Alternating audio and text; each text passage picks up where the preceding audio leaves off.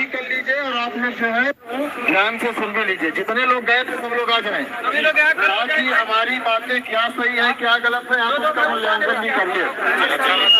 Video बना भी लीजिए पीएम सर है? हाँ। बच्चियाँ कहाँ गई भाई? चलिए आप ध्यान दीजिए। शेयर कर दीजिए तुरंत सीधे लाइव प्रसारण दे रहा आपका P S classes by Prashant Singh channel सबसे पहले आप सभी के जज्बे को सत सत नमन है कि आप लोग यहाँ टिके हैं। तुरंत शेयर करिए सभी प्यारे भाई बहनों तक पहुँच सके।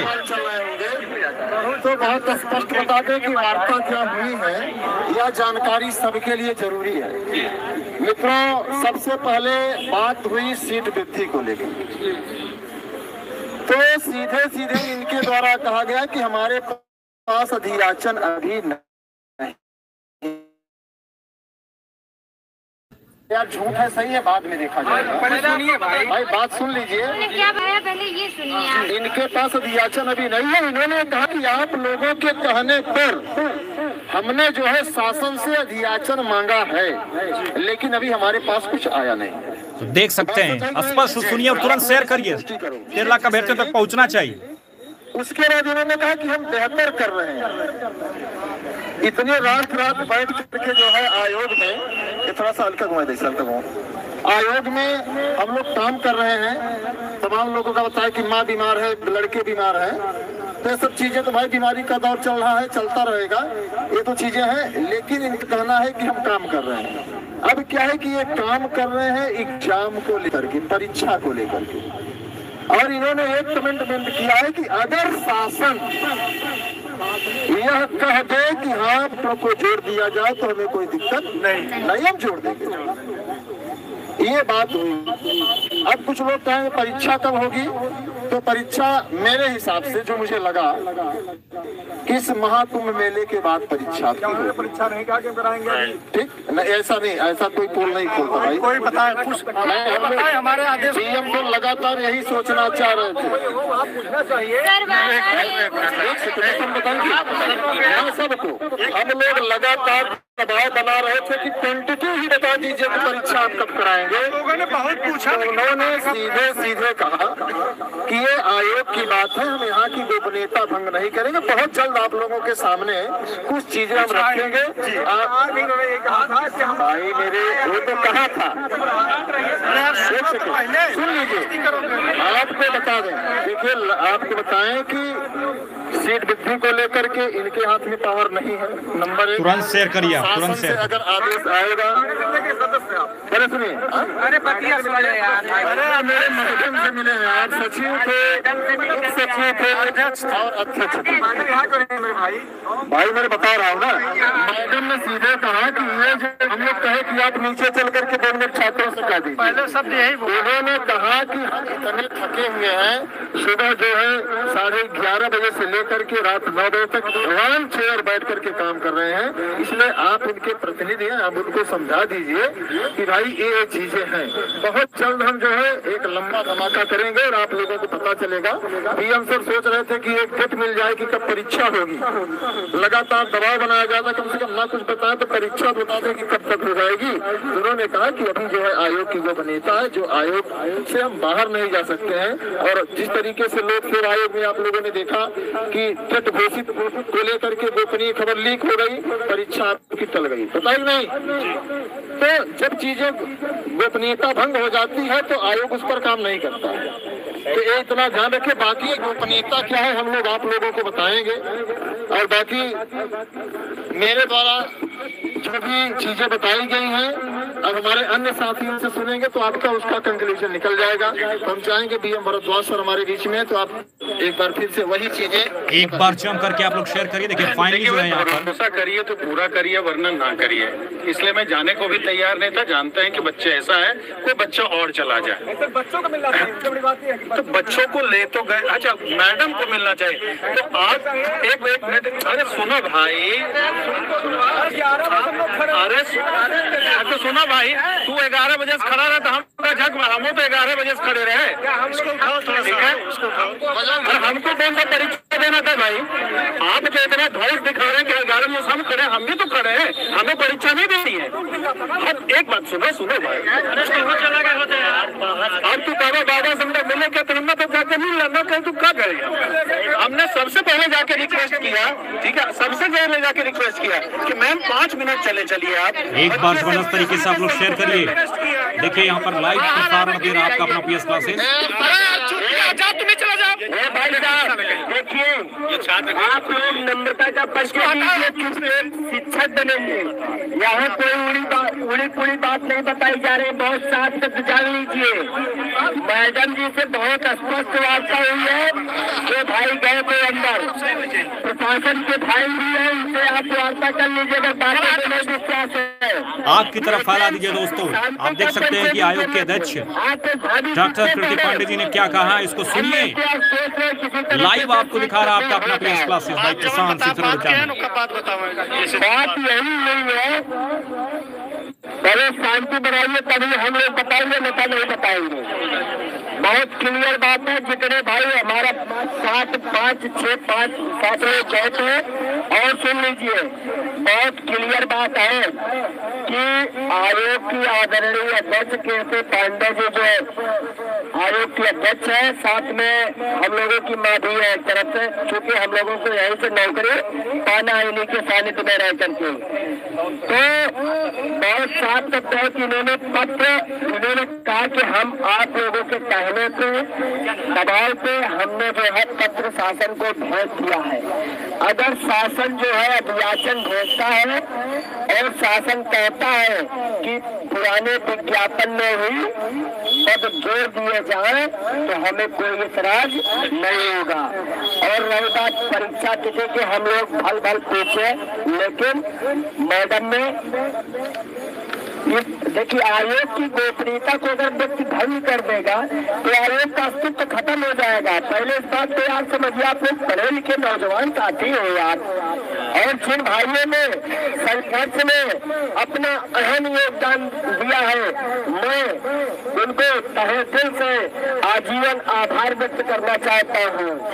इस बात को मानकर चलिए मित्रों, अगर आप ऐसे संघर्ष को बनाए रख- रखेंगे तो निश्चित तौर पर भारतीय जनता पार्टी की सरकार झुकेगी और उत्तर प्रदेश शिक्षा सेवा चयन आयोग को भी घुटने के दम को झुकाने का कार्य किया जाएगा। क्यों भाई? कि नहीं? और जिनको लगता है कि परीक्षा दो महीने में हो जाएगी तो मैं आपको बहुत क्लियर बता दूँ। कि फास्ट टेस्ट हमने कहा दो हज़ार इक्कीस की परीक्षा मंडल में न करा करके कमंडल में कराने का कार्य किया ये कहने देते तमाम ऐसे पहले जो बात हुई पर बड़े पैमाने पर। पहले जो बात हुई पहले वो बता देना तब मंडल कमंडल करिएगा। हम लोगों ने हम लोगों ने अध्यक्ष जी से बात किया। अध्यक्ष जी ने बोला कि ये हमारे पास में नहीं है पच्चीस हज़ार सीटें जोड़ने का। हमारे पास है ही नहीं अधियाचन और हमने अधियाचन के लिए भेज दिया है। और अगर जमकर शेयर करें, तुरंत शेयर करिए। अगर तो शासन से आदेश आता है तो हम इसके लिए छोड़ने के लिए तैयार हैं। और हम लोगों ने और सब बातों को रखा और परीक्षा के बारे में पूछने का बार बार प्रयास किया हम लोगों ने। लेकिन मैम बताई कि हम आयोग की गोपनीयता भंग नहीं करेंगे। और हम लोगों ने एक मांग और की है। मैडम ने उससे बोला कि हम उस पर ज़रूर अमल करेंगे उसको पूरा करेंगे कि जो परीक्षा जिला वाइज हुई थी उस पेपर को मंडल वाइज करने के लिए हम लोगों ने प्रयास किया। और इस पे इस पे मैम मान भी गई है कि इस बार परीक्षा जो होगी मंडल वाइज होगी। क्वेश्चन पे भी बात और क्वेश्चन पे हम लोगों ने आपत्ति जो क्वेश्चन पे आती थी कि ये पे सबको नंबर दिया जाता था जो लड़के अ, बाहर हो जाते थे कंप्यूटर जो जिसका बाडे पे रहता था तो उसको उस क्वेश्चन को प्रयास करिए कि गलत क्वेश्चन न डाला जाए उसमें। एक बार जम करके शेयर करिए आप लोग लगातार अपडेट दे रहा आपका अपना पी एस क्लासेस जो आंसर में है एक ही आंसर है और जहाँ तक हो यह करने का प्रयास न किया जाए क्वेश्चन चला दीजिए आग की तरह ये का बैठती और अनिल सर आपसे बताएँगे उसके आगे। मामला सभी आप लोगों के बीच का ही है? देखिए इतना हम लोग संघर्ष किए हैं तो निश्चित तौर पर मान के चलिए कि हम खाली हाथ नहीं जा रहे हैं। हमें एक नंबर, एक रास्ता मिला कि हम शासन से अगर यहाँ भिजवा देंगे तो अध्याचन में सीटें जुड़ जाएँगे। बस समझिए। अब हमें शासन स्तर पर प्रयास करना है। ठीक? क्योंकि जान आपका मेले के बाद ही होता है इसके पहले नहीं होगा। समझ रहे हैं? तो जब मेले के बाद ही एग्ज़ाम होगा तो हम लोग इस बीच में हैं। तो दोस्तों यहाँ पर देख सकते हैं आप लगातार अपडेट दे रहा है आपका पीएस क्लासेस लेंगे तो निश्चित तौर पर सीटें बढ़ ही जाएँगी और इनको परीक्षा तो भाई कराना ही कराना है। तो मैडम ने व्यवस्था भी किया कि हमारी औकात नहीं है कि हम इसका निर्णय ले पाए। मतलब क्या है? कहा अब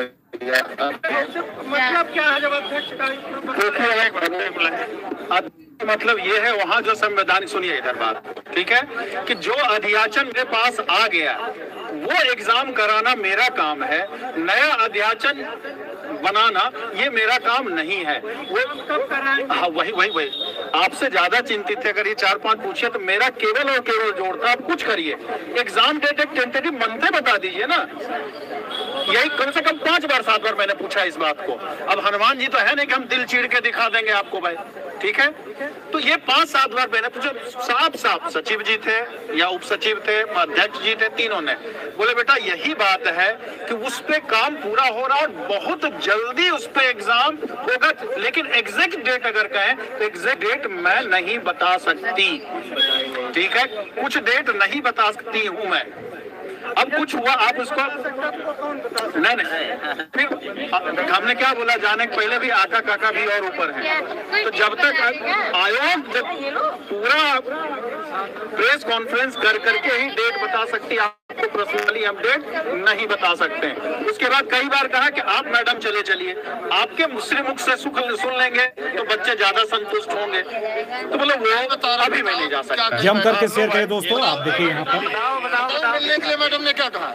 मैम ने कहा है कि जो है मतलब, आयोग काम कर रहा है जब से हम लोग आए हैं यहाँ पे तब से काम ही कर रहे हैं। और जो जिसपे मतलब विज्ञप्ति जो आई है जिसपे फॉर्म भरा गया है मतलब वो एग्ज़ाम कराने के लिए हम जो है मतलब प्रेरित है, उस पर काम कर रहे हैं। लेकिन जब सर ने बोला कि मतलब हम लोग चाहते हैं कि सीट बढ़ तो सर मिले तो उन्होंने कहा कि ये मेरे मेरे सामर्थ्य में नहीं है कि मैं अध्याचन मतलब बढ़ा मांग सकूँ या वो जब शासन से आएगा कि जो है आपको सीट इसमें इंक्रीज करना है तो मैं कर दूँगी। लेकिन उससे पहले ये मेरे अधिकार से बाहर है, मैं, मेरे अधिकार में नहीं है। मैं केवल एग्ज़ाम करा सकती हूँ और एग्ज़ाम कराने के लिए मैं कार्यरत हूँ। सात बजे तक कोई मीटिंग नहीं करता, मैं अभी तक मीटिंग कर रही हूँ। और जब भी आप लोगों ने आंदोलन किया, वो कभी असफल नहीं गया।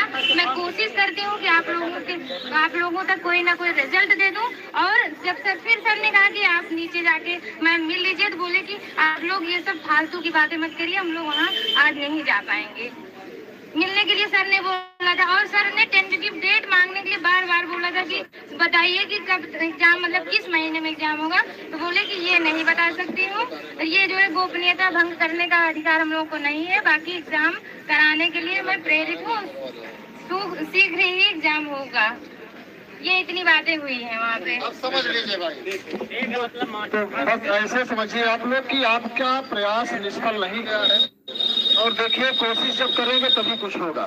क्योंकि हमारे हाथ में सब चीज़ें नहीं आप लोग हाँ, आराम से कोई दिक्कत नहीं है एक बार जम करके आप लोग शेयर करिए। बाकी जो हौसला बरकरार बनाए रखना, जो साथी वीडियो बना रहे हैं, हमारे पास भी भेज दीजिएगा ताकि कुछ मीडिया वालों को भी हमको देना है। समझ रहे हैं? जो भी वीडियो बना, साथी हमारे पास भेज दीजिएगा। धन्यवाद। सभी साथियों को नमस्कार। कलाम जिंदाबाद